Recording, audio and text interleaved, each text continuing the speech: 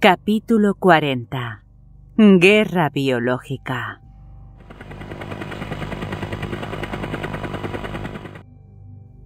El helicóptero militar llegó tres horas y media después de que Sara hablara con Daniel Tersch en Dugway, con dos horas de adelanto sobre lo prometido.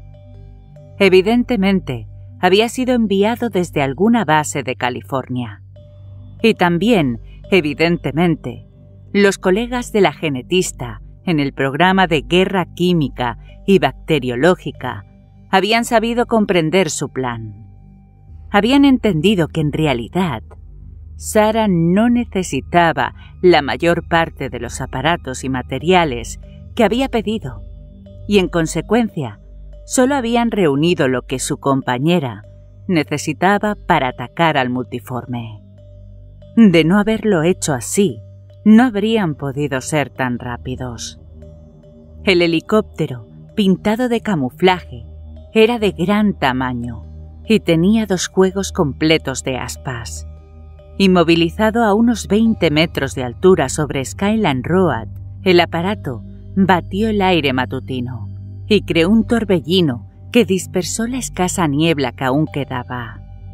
Poderosas oleadas de sonido barrieron el pueblo, como el tableteo de una ametralladora. Una de las portezuelas laterales del helicóptero se abrió y un hombre asomó la cabeza desde la bodega de carga.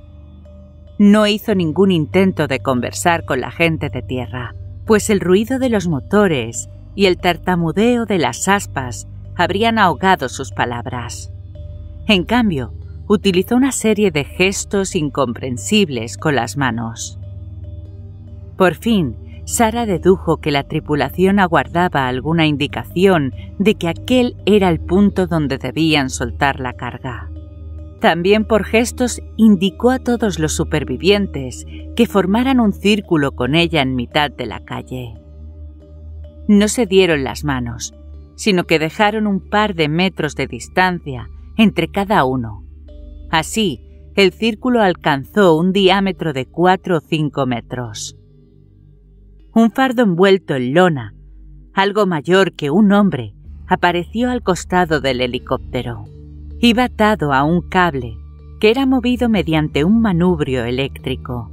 Al principio, el fardo descendió despacio, luego más despacio todavía, y por fin se posó en el pavimento, en el centro del círculo, con tal suavidad que dio la impresión de que los tripulantes del helicóptero estuvieran transportando huevos crudos. Bryce rompió la formación antes de que el paquete tocara el suelo y fue el primero en llegar hasta él. Localizó el acoplador y soltó el cable antes de que Sara y los demás se aproximaran. Cuando el helicóptero hubo recogido el cable, se deslizó valle abajo para alejarse de la zona de peligro y ganó altura rápidamente. Sara se agachó junto al fardo y empezó a aflojar la soga de nylon que cerraba los ojales de la lona. Se dedicó febrilmente a la tarea y en unos segundos empezó a desembalar el contenido. Había dos botes azules que llevaban unas letras y cifras blancas grabadas en la tapa. Al verlos, Sara suspiró de alivio. Su mensaje había sido interpretado correctamente. También localizó tres aerosoles dispersores, parecidos en tamaño y aspecto a los utilizados para fumigar los campos, solo que activados por cilindros de aire comprimido en lugar de por bombas manuales. Cada aerosol, de gran tamaño, Iba dotado de unos corrajes que permitían colgárselo a la espalda, como una mochila. Un tubo de goma flexible, terminado en una extensión metálica de un metro de longitud, con una boquilla de alta presión, permitía al portador permanecer a cuatro o cinco metros de distancia del lugar que se pretendía rociar. Sara levantó uno de los aerosoles el peso le indicó que debían de estar llenos del mismo fluido que contenían los botes azules. El helicóptero se desvió hacia el oeste, en el firmamento. Esto no es todo lo que has pedido, ¿verdad? Es todo lo que necesitamos. Respondió Sara, evasiva. Miró a un lado y a otro, con gesto nervioso, temiendo ver al ser multiforme abatiéndose sobre el grupo. Sin embargo, no había el menor rastro de la criatura. Bryce, tal, indicó. Si quieren tomar dos de esos aerosoles. El comisario y su ayudante le obedecieron. Pasaron los brazos por los corrajes, se ajustaron las hebillas al pecho y encogieron los hombros para colocarse los recipientes lo más cómodamente posible. Sin que nadie se lo hubiera dicho, ambos hombres se daban perfectamente cuenta de que los aerosoles contenían algún arma que podía destruir al ser multiforme. Sara sabía que debía corroerles la curiosidad y le impresionó que no hicieran ninguna pregunta. La genetista había pensado en colocarse el tercer aerosol ella misma, pero resultaba considerablemente más pesado de lo que había previsto. Esforzándose mucho, sería capaz de transportarlo, pero no podría maniobrar con rapidez. Y durante la hora siguiente, la supervivencia dependía de su agilidad y su rapidez de movimientos. De ese tercer aspersor debería encargarse otro. Lisa no, pues era de tamaño similar al de Sara. Fly tampoco. Tenía un poco de artritis en las manos de la cual se había quejado la noche anterior, y parecía demasiado frágil. Por tanto, solo quedaba Jenny. Apenas medía 10 centímetros más que Sara, y solo pesaba unos 8 o 10 kilos más, pero parecía estar en excelentes condiciones físicas. Era casi seguro que podría manejar el aerosol. Flight protestó, pero se rindió después de sostener el depósito unos instantes. Debo de estar más viejo de lo que pensaba, dijo abatido. Jenny estuvo de acuerdo en que era la más adecuada y Sara le ayudó a colocarse las cintas. Por fin estaban listos para la batalla. Seguía sin haber el menor rastro del multiforme. Sara se secó el sudor de la frente. Muy bien. En el momento en que aparezca, rociarle con esto. No perdáis un segundo. Rociarlo, saturarlo. Seguid retrocediendo, si es posible. Tratad de atraer la mayor masa posible de esa cosa, haciéndola salir de su escondrijo y seguid rociándola. ¿Es alguna especie de ácido o qué? Quiso saber Bryce. No es ácido, respondió Sara. Aunque el efecto será muy similar si llega a funcionar. ¿Si no es un ácido? Intervino Tal. ¿De qué se trata entonces? De un microorganismo único, altamente especializado dijo Sara. ¿Gérmenes? preguntó Jenny, abriendo los ojos como platos. Sí, se encuentran en suspensión en un caldo de cultivo que los mantiene. ¿Vamos a poner enfermo al multiforme? preguntó Lisa, frunciendo el ceño. Le pido a Dios que así sea. Asintió Sara. Nada se movió. Nada. Pero allí cerca había algo, y probablemente había oído los comentarios. Con el oído de un gato, con el oído de un zorro, con un oído acutísimo de su propia invención. Muy, muy enfermo. Si tenemos suerte, añadió Sara. Porque la única manera de acabar con esa criatura Parece ser la enfermedad. Ahora sus vidas corrían peligro, porque aquella cosa sabía que la habían engañado. Flight sacudió la cabeza. Pero el antiguo enemigo es tan absolutamente distinto, tan diferente del hombre y de los animales. Las enfermedades más peligrosas para otras especies podrían no tener el menor efecto en este ser. En efecto, asintió Sara. Pero este microbio no causa ninguna enfermedad ordinaria. En realidad, no es en absoluto un organismo causante de enfermedades. Snowfield seguía mudo, tendido sobre la ladera como un paisaje de postal. Mientras echaba nerviosa miradas a su alrededor, alerta a cualquier movimiento en el interior o en las cercanías de los edificios. Sara les habló de Ananda Chakrabarti y de su descubrimiento. En 1972, la Corporación General Eléctrica, empresa para la cual trabajaba el doctor Chakrabarti, solicitó por primera vez la patente de una bacteria elaborada por el hombre, utilizando refinadas técnicas de fusión celular. Chakrabarti había creado un microorganismo que podía devorar, digerir y, en último término, transformar los compuestos de hidrocarburo en petróleo crudo. El bichito de Chakrabarti poseía al menos una aplicación comercial evidente. Podía ser utilizado para la limpieza de los vertidos accidentales de petróleo en el mar. La bacteria se comía literalmente las manchas de crudo, siendo inocua para el medio ambiente. Tras una serie de intensas disputas legales de diversos tipos, la General Electric obtuvo el derecho a patentar el descubrimiento de Chakrabarti.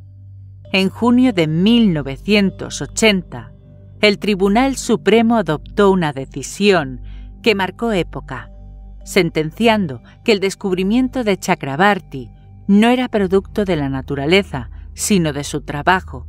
Por lo tanto, era un producto patentable. Es cierto, dijo Jenny. Leí algo sobre el caso. Fue una gran noticia por esas fechas. El hombre compitiendo con Dios y todo eso. En un primer momento, continuó Sara, la General Electric no tenía intención de sacar el bicho al mercado.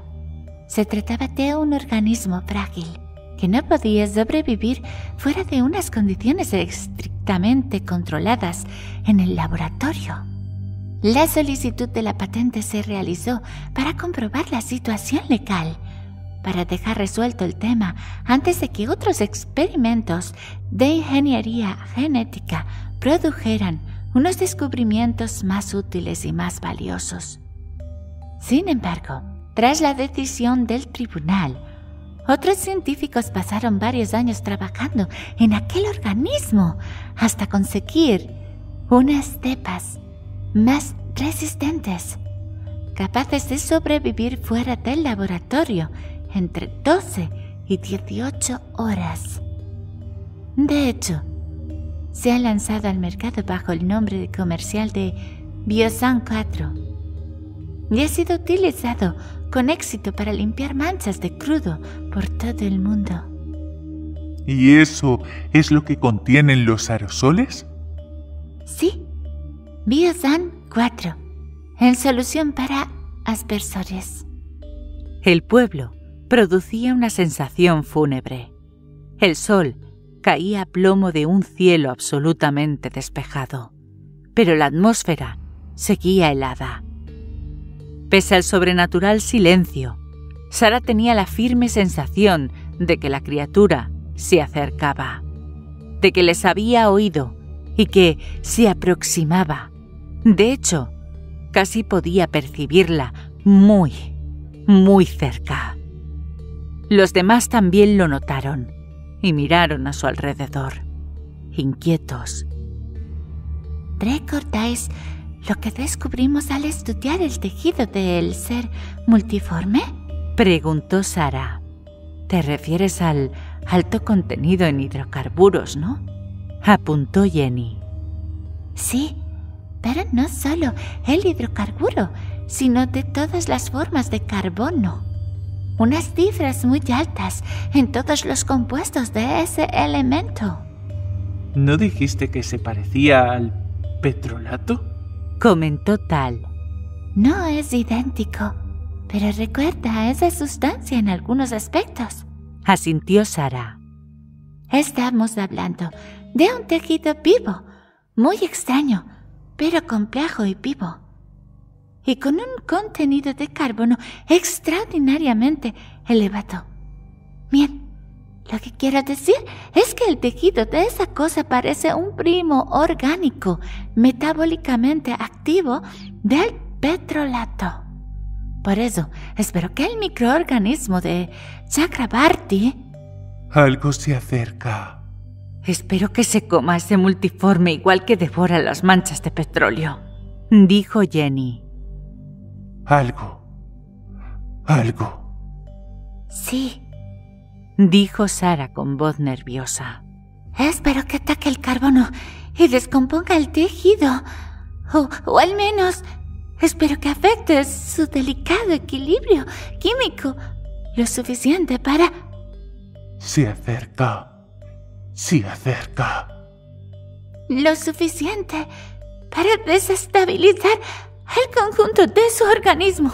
Terminó la frase Sara, abrumada por una sensación de inminente peligro. ¿Es esta la mejor opción que tenemos? ¿Lo es de verdad? Preguntó Flight. Creo que sí. ¿Dónde está? ¿Por dónde aparecerá? Se preguntó Sara, contemplando los edificios desiertos, la calle vacía, los árboles inmóviles. Me parece terriblemente remota, comentó Flight, dubitativo. En efecto, es muy remota, asintió Sara. No parece gran cosa, pero es lo único que tenemos. Un ruido, un siseo penetrante que erizaba el vello. Todos permanecieron inmóviles. Aguardaron. Pero de nuevo, el pueblo quedó envuelto en una capa de silencio.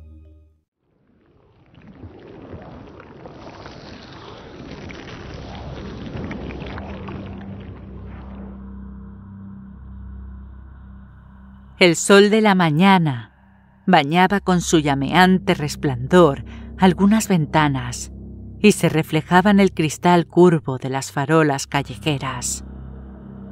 Parecía como si los techos de pizarra hubieran sido abrillantados durante la noche. Los últimos jirones de niebla se habían condensado sobre sus lisas superficies, dejando en la piedra una pátina de humedad. Nada se movió, nada sucedió. El sonido no se repitió. Bryce Hammond tenía el rostro empañado de preocupación. Ese biosan. Supongo que no tendrá efectos nocivos para nosotros. Absolutamente ninguno, le aseguró Sara. De nuevo, el sonido. Un breve estallido de ruido. Luego, el silencio. Algo se acerca, dijo Lisa en voz baja. Que Dios nos ayude, pensó Sara. Algo se acerca, dijo Jenny en voz baja. Bryce lo percibió también. Una sensación de creciente horror. La atmósfera más fría y a la vez más sofocante.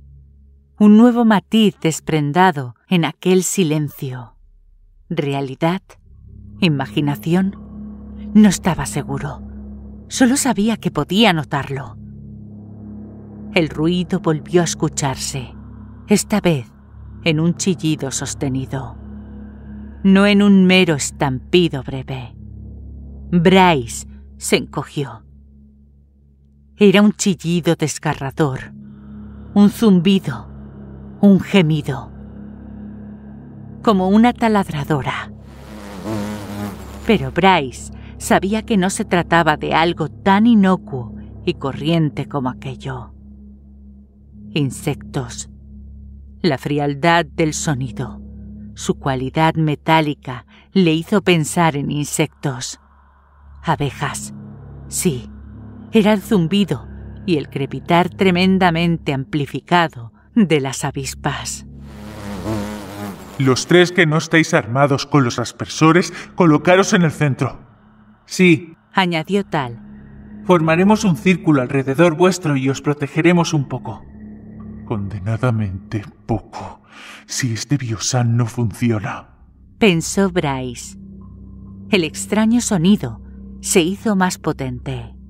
Sara, Lisa y el doctor Flight permanecieron juntos, mientras Bryce, Jenny y Tal les cubrían, vueltos hacia afuera. Entonces, calle abajo, cerca de la panadería, apareció en el cielo algo monstruoso que rozó los techos de los edificios antes de sobrevolar durante unos segundos Skyland Road. Era una avispa, un engendro fantasmal del tamaño de un pastor alemán. Nada que se pareciera remotamente a aquel insecto había existido durante las decenas de millones de años que el ser multiforme llevaba con vida. Sin duda, aquello había surgido de su retorcida imaginación. Era un horrible engendro del antiguo enemigo. Sus alas opalescentes, de dos metros de extensión cada una, batían el aire furiosamente, destellando con todos los colores del arco iris. Los ojos negros de múltiples facetas estaban colocados a cada lado de la cabeza estrecha, puntiaguda y malévola. Tenía cuatro patas finas terminadas en pinzas. El cuerpo, redondeado, segmentado y blanquecino. Finalizaba en un aguijón de un palmo de longitud, con la punta afilada como un alfiler. A Bryce le pareció que las entrañas se le volvían agua helada. La avispa dejó de sobrevolar al grupo. Se abatió sobre él. Jenny lanzó un grito cuando la avispa se lanzó en picado contra ellos, pero no corrió. Apuntó la boquilla del aspersor hacia la criatura y apretó el mando que dejaba paso al líquido a presión. Una niebla lechosa, en forma de cono, surgió del aparato hasta una distancia de un par de metros. La avispa se encontraba a unos siete metros y se acercaba muy deprisa. Jenny pulsó a fondo el mando. La niebla se convirtió en un chorro que se elevó a más de cinco metros de la boquilla. Bryce accionó la palanca del aspersor los dos chorros de Biosan se cruzaron en el aire, corrigieron el ángulo hasta apuntar a ambos en la misma dirección y se alzaron en paralelo hacia el aire. La avispa entró en el radio de acción de los aspersores. El doble chorro a presión la alcanzó, oscureció el color irisado de sus alas y empapó su cuerpo segmentado. El insecto se detuvo bruscamente. Titubeó y perdió altura, como si fuera incapaz de mantener el vuelo. Permaneció inmóvil en el aire unos instantes. Habían conseguido detener su ataque, aunque el animal todavía les observaba con ojos llenos de odio. Jenny sintió una explosión de alivio y esperanza. ¡Funciona! exclamó Lisa. Entonces la avispa se abatió de nuevo sobre ellos. En el preciso instante en que Tal empezaba a pensar que estaban a salvo, la avispa volvió a lanzarse hacia ellos entre la niebla del Biosan 4, volando lentamente, pero sosteniéndose todavía en el aire. ¡Al suelo! gritó Bryce. Todos se agacharon, y la avispa pasó por encima de sus cabezas, rezumando un líquido lechoso por sus patas monstruosas y por el vértice de su aguijón. Tal se incorporó de nuevo, pero antes de que pudiera accionar su aspersor, la avispa vaciló, aleteó descontroladamente y se derrumbó a plomo sobre el pavimento. Allí batió las alas con un furioso zumbido. Intentó remontar el vuelo, pero no lo consiguió. Entonces se transformó.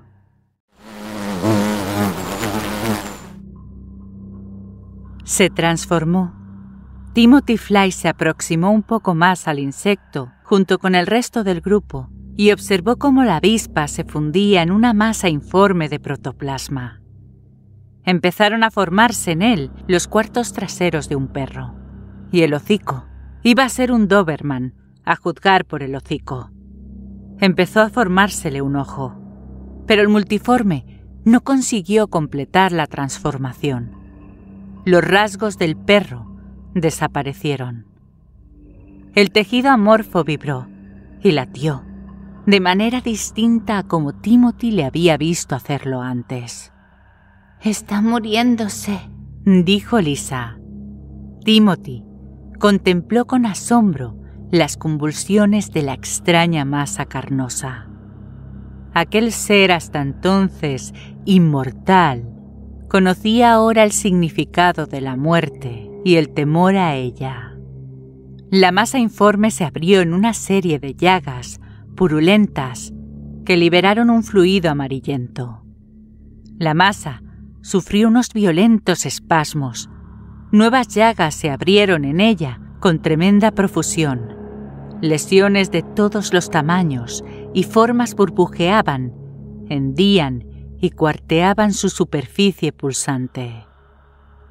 Y por fin, igual que había sucedido con la muestra de tejido del recipiente del laboratorio móvil, el fantasma degeneró en un charco sin vida de una pasta acuosa y maloliente.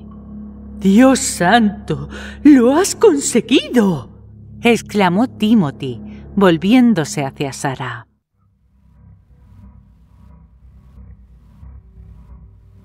Tentáculos, tres de ellos, detrás de la mujer.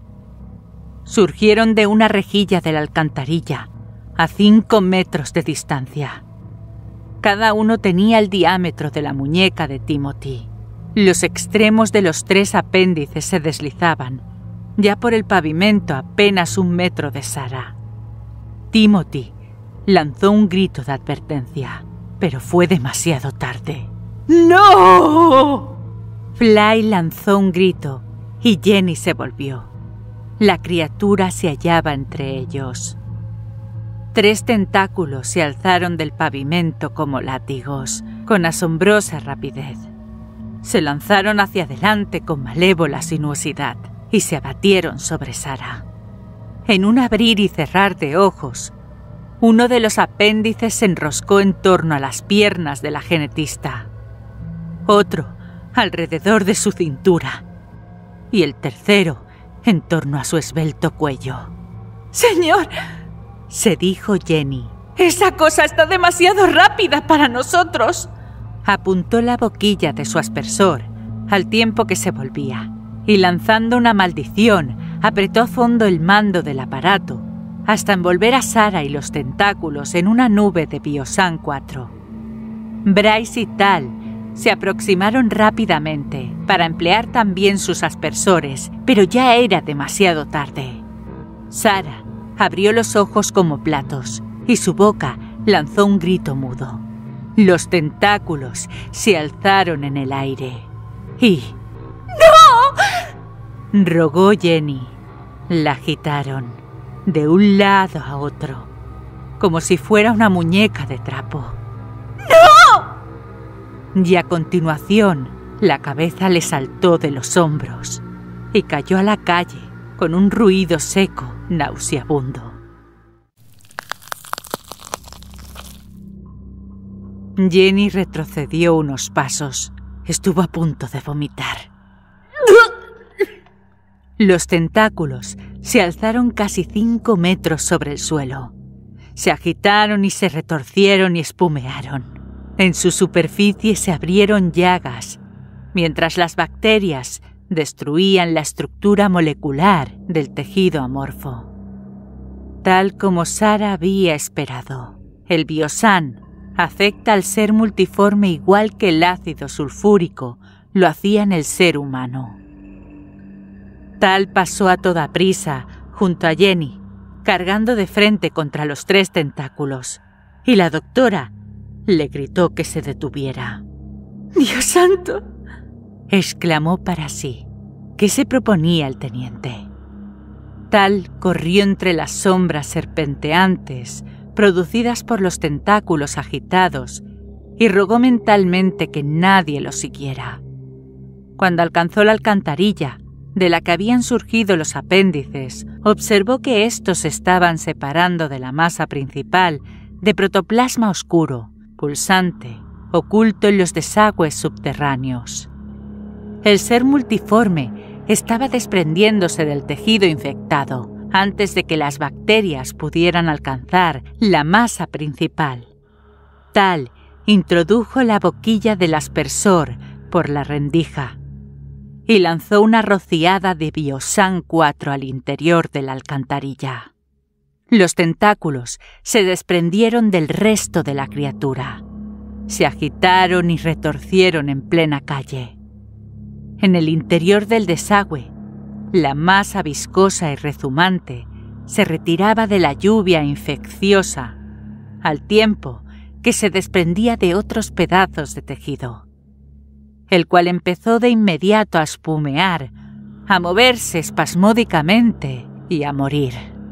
Incluso el demonio podía ser herido. Hasta Satán era vulnerable. Animado por el éxito, Tal volvió a rociar la alcantarilla con el fluido biológico. El tejido amorfo se retiró lejos de su vista ocultándose en lo más profundo de los pasadizos subterráneos, desprendiéndose, sin duda, de nuevos fragmentos infectados. Tal se alejó de la alcantarilla y observó que los tentáculos cortados habían perdido su forma definida. Ahora solo eran unas largas tiras retorcidas de tejido supurante que se enroscaban unas a otras en una manifesta agonía para degenerar rápidamente en una pasta hedionda e inerte. El teniente volvió la vista hacia la boca de alcantarilla, hacia los edificios silenciosos, hacia el cielo, preguntándose de dónde vendría el siguiente ataque. De pronto, el pavimento vibró y se levantó bajo sus pies. Delante de tal, el doctor Fly fue arrojado al suelo y se le rompieron las gafas. Tal se tambaleó de costado, casi tropezando con Flight. La calle tembló y se estremeció de nuevo, con más energía que antes, como si estuviera afectada por las vibraciones de un terremoto. Sin embargo, no se trataba de ningún seísmo. Aquella cosa se estaba acercando. No un mero fragmento, no otro fantasma más, sino la mayor parte de su cuerpo, tal vez toda su masa, impulsándose hacia la superficie con un poder destructivo inimaginable, alzándose como un dios traicionado que quisiera descargar su venganza y su cólera impía sobre los hombres y mujeres que habían osado atacarle, transformándose en una enorme masa de fibra muscular y empujando, empujando, hasta que el asfalto se hinchó y se agrietó. Tal se vio arrojado al suelo y su mentón golpeó con fuerza el asfalto. Aturdido, trató de reincorporarse para poder utilizar el aspersor cuando apareciera la criatura. Pero solo logró ponerse a gatas, pues la calle seguía moviéndose demasiado. Se tendió de nuevo en el suelo, a espera que la sacudida cesara. Vamos a morir, se dijo.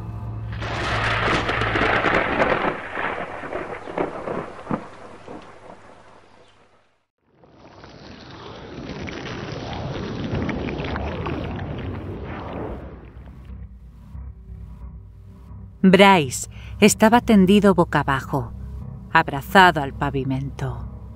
Lisa se hallaba a su lado. Estaba llorando gritando. El comisario no podía oírla, debido al tremendo estruendo que acompañaba a las sacudidas. En todo aquel tramo de Skylar Road, una sinfonía tonal de destrucción alcanzó un crescendo que hería los oídos. Chirridos, rozaduras, crujidos descarros. El mundo entero parecía estar rompiéndose en pedazos. El aire estaba lleno de polvo que brotaba de las amplias fisuras del pavimento. El firme de la calle principal se inclinó con tremenda fuerza. Pedazos de asfalto saltaron al aire. La mayoría de ellos tenían el tamaño de pequeños guijarros, pero habían algunos grandes como puños. Incluso los había mayores, bloques de pavimento de 20, 50 y hasta 100 kilos de peso, se alzaron hasta dos o tres metros de altura, mientras la criatura proteica seguía impulsándose sin cesar hacia la superficie. Bryce apretó a Lisa contra sí e intentó protegerla de la lluvia de piedras. Al hacerlo, notó los violentos temblores que recorrían a la muchacha. El suelo se levantó bajo sus pies y volvió a caer con un estampido. Se alzó y cayó de nuevo. Una lluvia de grava les alcanzó. Rebotó en el depósito del aspersor que Bryce llevaba atado a la espalda. Le alcanzó en las piernas y le golpeó la cabeza obligándole a encogerse para intentar cubrirse. ¿Dónde estaba Jenny? El comisario miró a su alrededor, presa de una repentina desesperación. La calle se había bombado, formando una loma en mitad de Skyland Road. Aparentemente, Jenny se encontraba en ese momento al otro lado del abultamiento, sujetándose al asfalto fuera de la vista de Bryce. Está viva, pensó el comisario. Jenny está viva. Tiene que estarlo. Maldita sea, tiene que estarlo. Una enorme losa de asfalto surgió del pavimento a la izquierda de su posición y se elevó más de tres metros en el aire. Bryce creyó que iba a aplastarles y apretó a Lisa contra sí lo más fuerte que pudo. Aunque todo sería inútil si la losa les caía encima. Sin embargo, ésta alcanzó a Timothy Flight. Cayó sobre las piernas del científico, rompiéndole ambas y atrapando a Flight, quien lanzó un aullido de dolor. Aulló tan fuerte que Bryce logró oírle a pesar del tremendo rugido del asfalto al desintegrarse. El temblor de tierra continuó. La calle se abombó todavía más. Unos dientes aserrados de cemento, cubierto de una capa de asfalto, mordieron el aire matinal. En cuestión de segundos, aquello aparecería del subsuelo y se abatiría sobre ellos sin darles tiempo ni oportunidad de resistirse. Un proyectil de asfalto del tamaño de una pelota de béisbol, escupido al aire por el ser multiforme que emergía con la fuerza de un volcán desde los desagües subterráneos, cayó al pavimento apenas unos centímetros de la cabeza de Jenny. Una astilla de cemento le produjo un rasguño en la mejilla de la cual manó un leve reguero de sangre. Entonces, la presión que había causado el abombamiento de la calzada cesó de pronto. La calle dejó de vibrar, dejó de elevarse. El estruendo de la destrucción decreció. Jenny pudo escuchar su propia respiración, áspera y atormentada. A unos pasos de distancia, Tal Whitman empezó a incorporarse. Al otro lado de la loma formada en el pavimento, alguien emitía unos gemidos agónicos. Jenny no alcanzaba a ver de quién se trataba. Intentó ponerse en pie, pero la calle se estremeció una vez más y de nuevo se vio arrojada de bruces al suelo. Tal cayó también, mascullando una maldición. De pronto, la calle empezó a bombarse hacia abajo, con un ruido torturante. Los fragmentos se quebraron a lo largo de las líneas de fractura. Grandes rocas cayeron, rodando hacia el vacío del fondo. Un vacío excesivo. Sonaba como si las cosas estuvieran cayendo a una cima y no a un mero canal de desagüe. A continuación, toda la parte que formaba la loma se hundió con un rugido atronador y Jenny se encontró en el borde del enorme socavón. Tendida boca abajo, con la cabeza levantada, esperó a que algo se elevase de las profundidades y tuvo miedo de contemplar la forma que asumiría esta vez el ser multiforme. Pero este no apareció. Nada surgió del gran hueco. El agujero medía tres metros de ancho y al menos veinte de largo. Al otro lado, Bryce y Lisa trataban de ponerse en pie.